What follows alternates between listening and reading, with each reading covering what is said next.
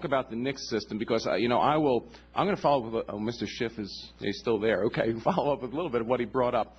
Because, you know, before we expand the system, and I know the President used very strong language, yes, I mean, he used the word lie, which I, you know, you can, you can disagree with someone's, you know, positions and advocacy, but using the word lie, I'm a little worried about because some of the things that were said about the NICS system I have said. So I'm going to just delve a little bit into it. Because before we expand the system, uh, in general, I would li always like to ask the question, is the current program effective and is it enforced? And I'm going to very briefly deal with these two. In terms of effectiveness, you are aware in the state of Maryland, the last figures I have is from 2011. I will ask, I will ask you actually to get the, the most updated figures in the state of Maryland.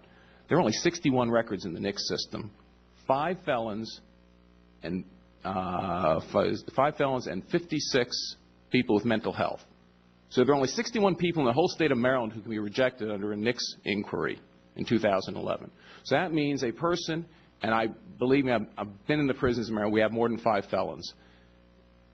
That means only 61 people will be denied going into a store today, picking up a military rifle off the rack, standard issue World War II military rifle off the rack, call the NICS background check, and be denied because there are only 61 records in the whole system.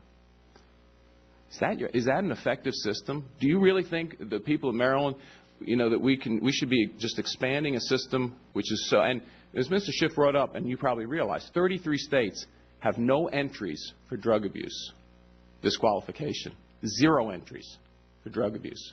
Many states, zero entries for mental health disqualifications, which really was the only thing that would have prevented some of these tragedies, and they're tragedies. But what I'm getting at has to do with appropriations.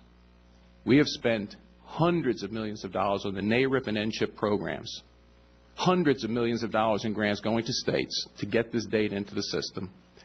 And actually, I think by your testimony that I couldn't draw it out in the written testimony, it appears you may have actually asked for more money than that.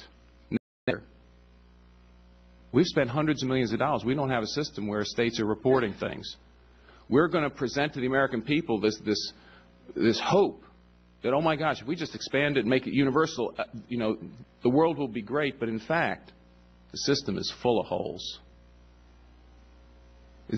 It, this has a lot of flaws. So can you address that? When you come in those programs, all I'm going to ask you is please address those glaring problems and make the states follow up. Maryland's taken $10 million of that money. We report 61 cases. $10 million over the past 17 years to report 61 cases.